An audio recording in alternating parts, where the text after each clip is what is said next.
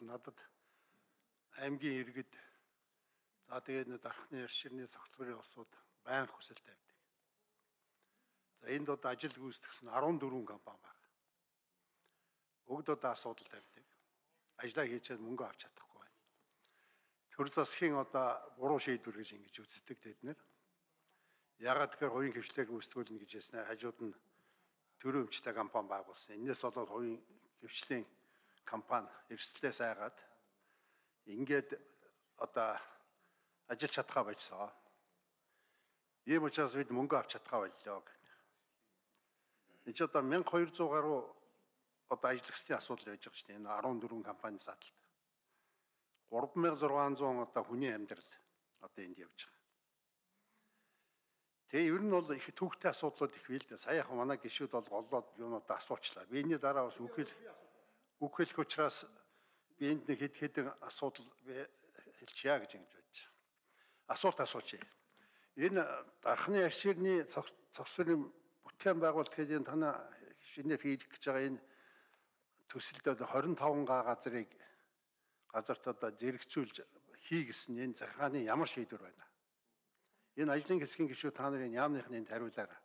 Сайд руу гараа суугаад байгаа ш. Та нар яг жинхэнэ ажил хариулж байгаа олсууд шин. Хоёрдугаарт энэ Монгол Улсын засгийн газрын 2019 оны 356 дугаар тогтоолын хавсралтанд Европын сэргээн босголтын банк ба хөгжлийн банк хооронд байгуулсан дархны аширны цогцлбарын дэд бүтцийн төсөл 56.3 сая доллар зархаар шийдсэн байна. За энэ асуудал одоо юу болсон бэ? Хоёр дахь асуудал. Гурав дахь асуудал энэ хөгжлийн банк 2020 2021 оны төсөв цуусна хүүгийн татаасын төлбөрийн хойноос нэг хэр зэрэг хөдөлсөн юм бол доо. Гурав дахь асуудал. Дөрөв дахь асуулт бол юу гэхээр үйлдвэржилтийн байнгын хороо 2023 оны 10 сарын 26-нд одоо 08 тоо тогтоол гаргасан. Энэ тогтоолоор төрийн өмчтэй компани байгуулах шийдвэрээ таслан зогсоож улсын хурал танилцууд гэдэг ингээд үрг өгсөн байж байгаа. За энэ ажил юу болж байгаа вэ? Та нар юу гэж бодож байгаа вэ? Дараагийн асуулт, тав дахь асуулт. Төр болон хувийн хвшлийн техник эдийн засгийн үндэслэлийн тооцоог харьцуулж үзсэн үү? Хэн нүнтэй байна? Энэ бүтээгдэхүүнүүдийн өртөх ямар байна? Аливаа одоо үйлдвэрлэж байгаа бүтээгдэхүүний чинь хамгийн эцсийн өртөх шүү дээ, тийм ээ? Энэ талаар хийсэн судалгаа байна уу? Дараагийн асуудлын зохиогчийн эрхийн асуудал гэж. Та нарын энэ хийж байгаа одоо шинэ хийх гэж байгаа энэ бүтээн байгуулалтын За Батмарх шөнийн нэмэлт 1 минут.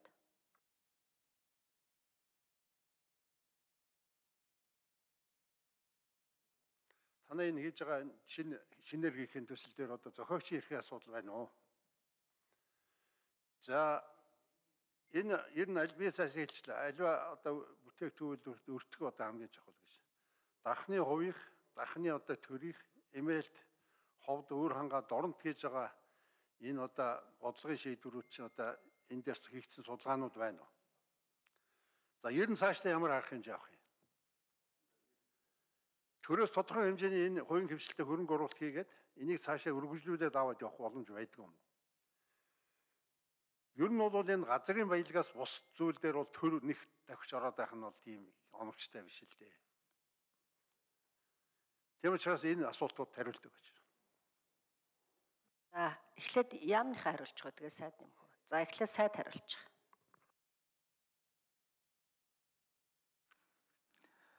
За Баттэр Батөмөр гişүү нэлээд олон асуулт асуулаа. Дархан сонгосон гişүүний хувьд бас санаа тавьж байгаа. Өөрөө ч асуултыг асуулгыг тавьсан.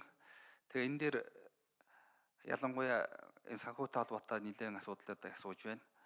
Хөрөнгө оруулалттай холбоотой хүн сүдэ аж ахуйн хөнгөн өдрийн яамны санхүү хөрөнгө оруулалтын газрын дарга дарахны арширын зохицуулын түүзийн дарга отгонцог хариулт өгнө. За микрофон дугаарын дэш нь өргөдөө. А наад нэг за цаатлынх нь биш үү. За 87 дугаар микрофон. За Батмөр гишүүний асуултанд хариулъя. За дархан арь ширний цогцлбор хязгаарлагдмал хариуцлагатай компани өөрийнх нь тэзүү бол 2018 оны тэзүүгээрээ 589.6 тэрбум төгрөгийн хөрөнгө оруулалт шаардлагатай гэсэн тэзүү хийгдсэн байдаг.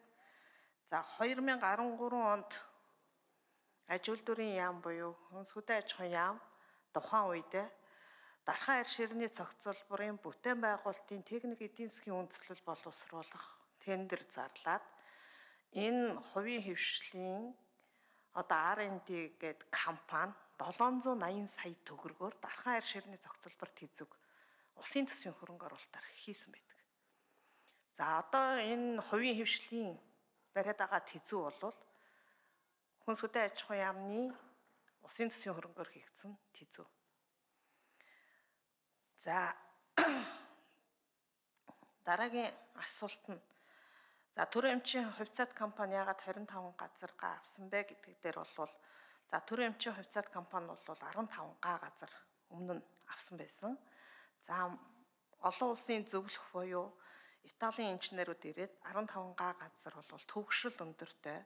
Дээр нь бол дулааны одоо уурын хэрэглээг татах ийм нөхцөл шаардлага хангахгүй байна гэснийг ийм дүгнэлт гаргасан. За энэний дагуу бол Дархан арь ширний зохицолбор бүтээн байгуул төрөмчийн компаниас Дархан уул аймгийн засаг даргын тамгын газарт хүсэл тавиад бид нар газрын байршлыг сольж өгсөн. Хүсэл тавиад ингээ 25 га газрыг хувийн хвшлийн 180 га газартаа яг зэрэгцээ байдлаар 25 га газрыг авсан байна.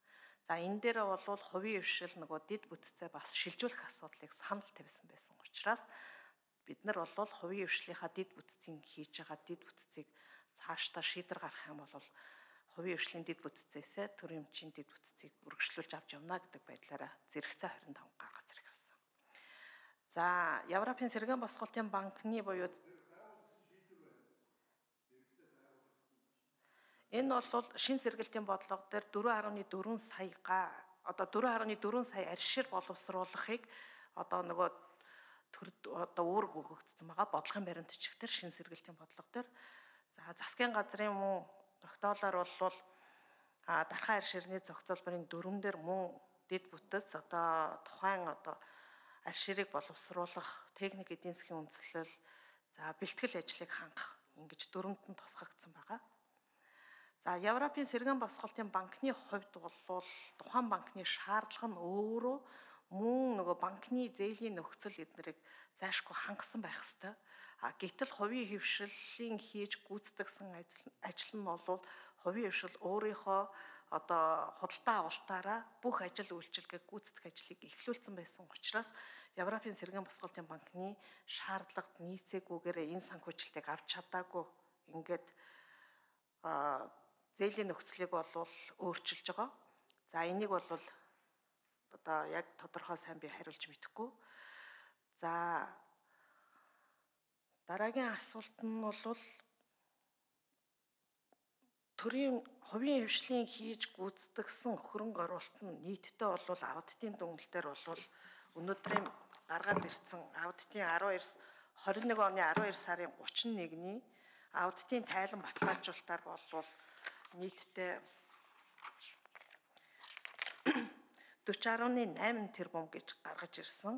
За үүний санхүүжилтийн их үүсрэг бол Монгол Улсын хөгжлийн банкны 15 тэрбум төгрөгийн бондыг жилийн 20% өгөөчтөгөөр 5 жилийн хугацаатай авсан. Өрийн бичгийн худалд худалдаа авах гэрээгээр санхүүжигдсэн. За 3.7 тэрбум төгрөгийг хөгжлийн банкны охин компани DBM лизингээс 3.7 тэрбум төгрөгийн эрчим хүчний тоног төхөөрөмжийн санхүүжилтийн гэрээгээр нийтдээ 18.7 тэрбум төгрөгийн санхүүжилтаар энэ ажлыг гүйцэтгэсэн байдаг. За тухайн үед хөгжлийн банктай байгуулсан гэрээгээр болвол хувийн хэвшил 180 га газрыгаа болон тухайн газар дээр хийгдэж байгаа бүх дэд бүтцийг хөгжлийн банкны барьцаанд байршуулсан. Тийм болохоор төр хувийн хэвшил хоёр хамтраад явхад зайлшгүй хөгжлийн банкнаас зөвшөөрөл авах биднэрт зайлшгүй нөхцөл байдал үүссэн учраас Өнөөдөр бол дэд сайдаар ахлуулсан хөгжлийн банк за хүнс хөдөө аж ахуй хөнгөн үйлдвэрийн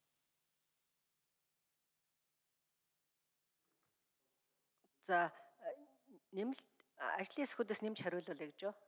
За 87 дугаар микрофон дуустал хариулж байгаа. За ингээд дид цайдаар ахлуулсан ажлын хэсэг хамтраад ажиллаж байгаа. За энэ ажлын хэсэг бол 5 дид бүтцийг бол бид нар хувийн хөвшлээс одоо санал болгосон дүнгээр нь бол өнөөдрийн байдлаар бол хөгжлийн банкнд хувийн хөвшил бол 33 тэрбум төгрөгөөр үнэлэх ийм саналыг ирүүлээд байгаа. За энэ байдлаас нь бол эхний ээлжинд бид нар ажлын гүйцэтгэлээр захиргаан дамжуулах дэд инстанц болон үйлдвэрлэлийн гадна дулаан уссан хангамж ариутгах татваргын ажлын гүйцэтгэл нь бол 70-аас 85% гүйцэтгэлтэй байгаа учраас энэ ажлыг бол а хөгжлийн банк хувийн хөвшил за тэгээд яам гурав хамтарсан байдлаар хилцэл хийх байдлаар эхний ээлжин шилжүүлэх үе шаттайгаар ингээд шилжүүлэх ажлыг хийх нь зүйтэй маа гэсэн байдлаар ажлын хэсэг хамтраад ажиллаж байгаа.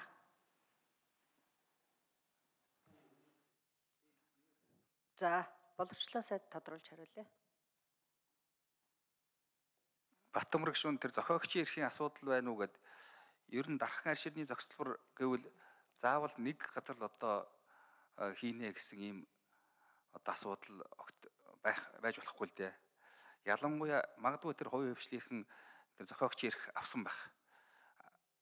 Гэхдээ тэр саяын хэлдгээр анхны тээзүү хийхэд 789 сая төгрөгийг хүн сөдөө аж ахуйн хөнгөн үйлдвэрийн яам буюу өөрөөр хэл улсын төсвийн мөнгөөр хийсэ. Хуваараа хийгээгүй гэдгийг бас хэлье. А хоёрдугаарт бид зохиогчийн эрхтэй гээд өөрсдийн бүр гаргасан эсвэл хий одоо хийгээгүй юм хийсэн болгож юм хийсвэр дүнгээр юмээ шахахгүй тийм боломж байж болохгүй. Бид хамтарч одоо ажлын хэсэг гараад одоо хувийн хвшлэгс аль болохоор авахыг хичээж байгаа. Гэхдээ яг бодит үнийн дүнтэй дэд үтс ийг одоо авах болно гэдгийг бас хэлье. За одоо цэрэм пилийн даваас хөрөн гişээ